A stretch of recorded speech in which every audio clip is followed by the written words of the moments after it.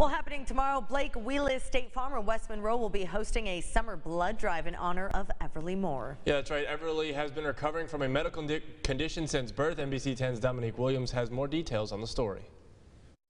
That's right. Agent Blake Wheelis is honoring Evelyn Moore by hosting a blood drive right here on location at his agency after Evelyn was born and had two blood transfusions. And with blood centers in dire need of access to blood, he felt that it was the right thing to do.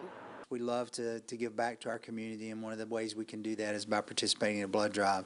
I've been a blood donor myself for quite some time, but Everley's situation gave us an opportunity to do it in honor of Everley's, the fact that Everley received blood, and it did give her an opportunity to be able to survive the situations that she went through. Lori is thankful for each resource of blood that was available because if it wasn't, she's not sure if Everley would be here today. Um, I honestly don't know if she would have made it. I don't know what she would have done without the blood being available. I don't even know if she would have survived without it.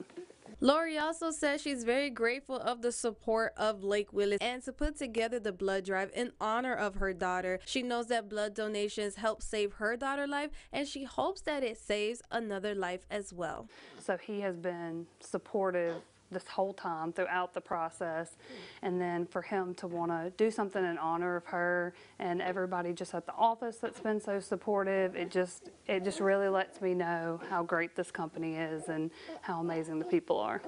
Now, both Lori Moore and Blake Wheelis are asking the community to join them and participate in the blood drive that will be taking place Thursday, July 28th from 11 a.m. through 6 p.m. To learn more about the information on the blood drive and registration, head over to our website at myarklamiss.com.